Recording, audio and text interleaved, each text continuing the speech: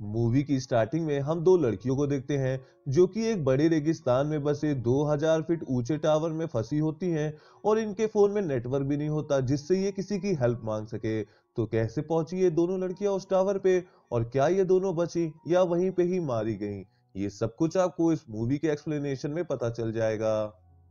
Movie की starting में हम बैकी और उसके हस्बैंड डैन और उसकी बेस्ट फ्रेंड हंटर को देखते हैं, जो कि एक पहाड़ पे क्लाइंबिंग कर रही होती हैं। इधर डैन को एक छोटी सी केव दिखती है, जिसमें वो अपना ग्रिप बनाने के लिए हाथ डालता है, मगर तभी उसमें से एक पक्षी बाहर आ जाता है और डैन का बैलेंस बिगड़ जाता है और वो नीचे लटक जाता है। इधर बैकी और हंटर उसकी मदद करने के लिए आ ही रहे होते हैं। तब तक डैन का सेफ्टी वायर टूट जाता है और वो हज़ारों फीट नीचे गिर के मर जाता है, जिसके बाद कहानी दो साल बाद दिखाई जाती है और हम देखते हैं कि बैकी अभी तक अपने हस्बैंड की मौत से बाहर नहीं आ पाई हुई होती है और वो काफ़ी डिप्रेस रहने लगी होती है। इधर जब वो बाहर से बाहर जा रही होती है तो हम उसके फादर को देखते हैं। जो कि उसको ये सबसे मूव ऑन करने के लिए कहता है। मगर बैकी उसकी बातों को नहीं सुनती और अपने घर चली आती है, जहाँ पे वो काफ़ी सारी नींद की गोली एक साथ खा के सुसाइड करने की कोशिश कर रही होती है, तभी उसकी बेस्ट फ्रेंड हंटर का कॉल उसके पास आ जाता है और वो सुसाइड करना कैंसिल कर देती है। जहाँ पे हम देखते हैं कि नेक्स्ट मॉर्निंग हंटर उसके घर आई होती है, जहाँ पे हंटर उसे बताती है कि वो एक एडवेंचर करने जा रही है जहाँ पे वो एक रेडियो टावर पे क्लम्बिंग करेगी, जो कि एक रेगिस्तान में बसा हुआ है और 2000 फीट ऊँचा है। इधर हंटर बैकी को भी अपने साथ चलने के लिए कहती है, मगर बैकी उसे मना कर देती है, क्योंकि वो अभी इस हालत में नहीं होती कि वो किसी भी तरीके का एडवेंचर कर सके। जिसके बाद हम देखते हैं कि अगले ही दिन जब बैकी अपनी मेडिसिन को ले रही होती है तो वो डिसाइड करती है कि उसे हंटर के साथ जाना चाहिए, क्योंकि डैन को क्लाइंबिंग बहुत पसंद थी। जहाँ पे हम देखते हैं कि बैकी हंटर के साथ उस एडवेंचर पे निकल पड़ती है, जहाँ पे काफ़ी देर ड्राइव करने के बाद ये लोग एक होटल पे रुकते हैं और वहाँ पे डिनर कर रहे होते हैं, जहाँ पे बैकी को पता चलता है कि हंटर एक यूट्यूबर बन चुकी है और वो अपने क्लाइंबिंग व्लॉग्स को यूट्यूब पे अपलोड करती है और उससे जो भी रेवेन्यू बनता है, उससे वो वर्ल्ड टूर करती है।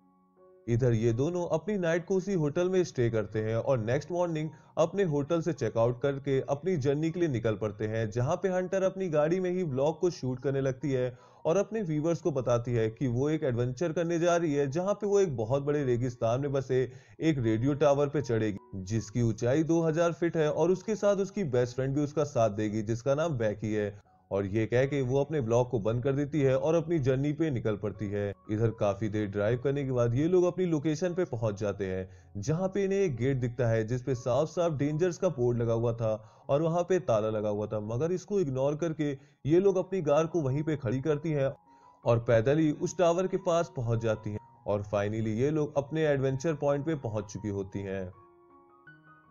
इधर काफ़ी स्ट्रगल करने के बाद फाइनली ये दोनों अपनी लोकेशन पे पहुँच जाती हैं, जहाँ पे बैकी उस टावर की ऊंचाई को देख के काफ़ी डर जाती है और हंटर से वापस चलने के लिए कहती है, मगर हंटर उसके डर को दूर करने के लिए कहती है और दोनों लोग सेफ्टी वायर बाँध के उस टावर पे चढ़ना शुरू कर देती हैं। जब ये लोग थोड़ा ऊपर चढ़ती हैं तो हम देखते हैं कि उस सीढ़ी से अब नट बोल्ट निकलने लगे हैं क्योंकि वो इतनी पुरानी सीढ़ी होती है और काफ़ी सालों से उसकी रिपेयरिंग भी नहीं होती है। इधर जब बैकी एक सीढ़ी की हैंडल को पकड़ती है तो वो टूट जाता है, जिससे वो काफ़ी डर जाती है, मगर फिर भी वो ऊपर चढ़ती रहती है। अब देखते ही देखते ये दोनों लोग 1000 फीट तक चढ़ जाती हैं, जहाँ से शहर काफ़ी छोटा नज़र आता है। अब ये दोनों लोग अपने मंजिल के काफ़ी करीब होती हैं, मगर 1000 फीट ऊपर हवा इतनी तेज होती है, जिससे बैकी को काफ़ी दिक्कत होने लगती है। इधर देखते देखते ये दोनों लोग 1800 फीट ऊपर तक चढ़ गई होती हैं और अब बस 200 फीट और रह गया था, लेकिन ये 200 फीट इनके लिए काफ़ी चैलेंजिंग मोड था, जिसे किसी तरह पार करते करते फाइनली ये लोग उस टावर पे पहुँच गई होती है। इधर टावर पे पहुँचने के बाद हंटर अपने व्लॉग को फिर से शूट करना स्टार्ट कर देती है और ड्रोन कैमरे की मदद से पूरे टावर को शूट करती है, जहाँ पे हंटर अपने व्लॉग को इंटरेस्टिंग बनाने के लिए एक हाथ से उस सीढ़ी पे लटक जाती है और बैकी को भी ऐसा करने के लिए कहती है, जिससे बैकी का डर दूर हो जाए। जहाँ जहाँ पे बैकी भी उस स्टंट को परफॉर्म करती है और हम देखते हैं कि इसके बाद ये लोग डैन को याद करते हैं, जिसके बाद ये दोनों लोग काफ़ी इमोशनल हो जाते हैं। फाइनली ये दोनों लोग डिसाइड करती हैं कि अब इन्हें यहाँ से नीचे चलना चाहिए, जहाँ पे ये दोनों लोग अपने सेफ्टी वायर को बांधती हैं और बैकी सबसे पहले नीचे उतरती है। इधर जैसे ही वो अपने पहले कदम को सीढ़ी पर रखती है, सीढ़ी टूट के नीचे गिर जाती है। जहाँ पे बैकी भी नीचे लटक जाती है, मगर सेफ्टी वायर के बंधे होने की वजह से वो उस टावर पे लटक जाती है, जहाँ पे हंटर उसे किसी तरह ऊपर खींच लेती है। अब ये दोनों लोग जब नीचे देखती हैं तो उनको दिखता है कि सीढ़ी अब पूरी तरीके से गायब हो चुकी है, और इनके नीचे जाने का रास्ता पूरी तरीके से ब्लॉक हो चुका है, जिसके बाद ये दोनों लोग अपने फ़ोन को चेक करती है, ताकि ये किसी से हेल्प मांग सके। मगर इनके फ़ोन में नेटवर्क भी नहीं होता और अब ये दोनों लोग उस टावर पे पूरी तरीके से ट्रैप हो चुकी थी। इधर उस टावर पे इन दोनों को एक इमरजेंसी बॉक्स दिखता है जिसे ये लोग ओपन करती हैं तो इन्हें उसमें से एक दूरबीन मिलती है और एक फ्लेयर गन मिलती है जो कि इनके कोई भी काम की नहीं होती, जहाँ पे हंटर उस दूरबीन का इस्तेमाल करती है और पूरे रेगिस्तान की तरफ़ देखती है, जहाँ पे उसे दूर दूर तक कोई भी नहीं दिखता। अब पूरे रेगिस्तान में कोई ना दिखने के कारण इन्हें किसी ना किसी तरीके से तो वहाँ से निकलना था।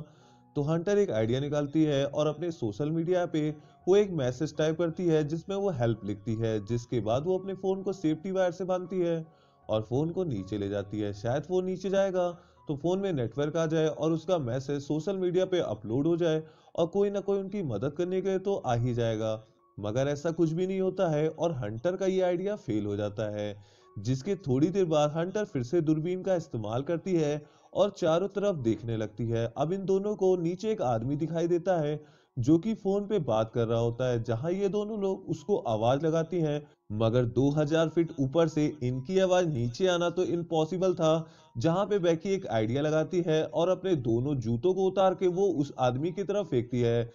शायद वो जूते की आवाज़ से उन दोनों को देख ले, मगर ऐसा कुछ भी नहीं होता है और वो आदमी वहाँ से चला जाता है, जहाँ पे हंटर देखती है कि उस आदमी के साथ दो और लोग हैं और वो लोग एक वैन के अंदर पार्टी करने के लिए आए हुए हैं, जहाँ हंटर बैकी से कहती है कि हमें रात होने का वेट करना चाहिए और जैसे ही रात होगी, हम फ्लेयर गन को स्काई की तरफ़ शूट कर देंगे, जिससे ये लोग हमें देख लेंगे। जहाँ देखते ही देखते रात हो जाती है और जैसे ही रात होती है बैकी उस गन को लेके स्काई की तरफ़ शूट कर देती जहाँ से उस गन से लाइट निकलती है और वो आदमी उन्हें देख लेते हैं। इधर हंटर और बैकी को लगता है कि शायद अब उनकी मदद हो गई है और ये लोग उन्हें बचा लेंगे, मगर वो लोग ऐसा कुछ भी नहीं करते हैं। यहाँ ये लोग हंटर की कार को लेते हैं और वहाँ से निकल जाते हैं। इधर वो आदमी इन दोनों की लास्ट होप थी जो कि वहाँ से जा चुके थे। जिसके बाद ये दोनों लोग काफ़ी डिप्रेस हो गई थी। इधर हंटर को भी ये रियलाइज़ हो गया था कि उसने अपनी जान के साथ साथ बैकी की जान को भी खतरे में डाल दिया है। अब देखते ही देखते सुबह हो गई थी और बैकी की हालत अब काफ़ी खराब हो चुकी थी। तो हंटर ये डिसाइड करती है कि वो नीचे जाएगी और अपने बैग को लेके ऊपर आएगी, जिसमें खाने के लिए खाना और पीने के लिए पानी होता है, जहाँ पे हंटर अपने सेफ्टी वायर को बांधती है और किसी तरीके से धीरे धीरे करके वो नीचे जाती है, जहाँ पे वो अपने बैग को उठाने वाली थी। मगर उसका हाथ बैग की तरफ़ नहीं पहुँच पाता, जहाँ पे वो अपने सेफ्टी वायर को हटाती है और उस पर लटक जाती है और किसी तरीके से वो डिस्क पे कूद के अपने बैग को पा लेती है, जिसके बाद वो पहले खुद पानी पीती है, फिर उस बैग को सेफ्टी वायर से बाँध के बैकी की तरफ़ भेज देती है, जहाँ पे बैग मिल जाने के बाद अब हंटर भी उस सेफ्टी वायर से धीरे धीरे ऊपर आती है। मगर गलती से हंटर का हाथ उस सेफ्टी वायर से छूट जाता है और वो नीचे गिरने ही वाली होती है कि बैकी उसे किसी ना किसी तरीके से बचा लेती है, क्योंकि एक बार वो अपने हस्बैंड को खो चुकी है और वो अपनी बेस्ट फ्रेंड को नहीं खोना चाहती थी, जहाँ पे वो ऊपर उसे खींच लेती है। इसके, जिसके बाद ये दोनों लोग आपस में बात करती हैं अब देखते ही देखते वहाँ पे रात हो चुकी थी और इधर जब बैकी सो रही थी तो उसे बहुत भयानक सपना आता है जिसमें वो देखती है कि जब हंटर नीचे बैग लेने गई थी तो उसकी डिस्क पे ही गिर के मौत हो गई थी, जिसके बाद बैकी काफ़ी डर के उठती है और उसे पता चलता है कि ये तो बस एक भयानक सपना था, जहाँ पे अब वहाँ का मौसम काफ़ी खराब होने लगा था और इन दोनों का वहाँ पे सर्वाइव करना और भी ज़्यादा मुश्किल हो गया था। अब बैकी हंटर से कहती है कि अब वो अपने फ़ोन पे मैसेज को टाइप करेगी और हंटर के दूसरे पैर के जूते में फ़ोन को डाल के नीचे फेंक देगी। अब कहानी में बहुत बड़ा ट्विस्ट आता है और हमें पता चलता है, जब हंटर का हाथ सेफ्टी वायर से छूटा था और वो जब नीचे गिरी थी तो उसकी डिस्प्ले ही गिर के मौत हो चुकी थी। जिसके बाद से बैकी हंटर को अपने साथ बस इमेजिन कर रही थी। अब अपनी बेस्ट फ्रेंड को खोने के बाद बैकी और भी ज़्यादा डिप्रेस हो जाती है और वहीं पे ही चुपचाप बैठी रहती है।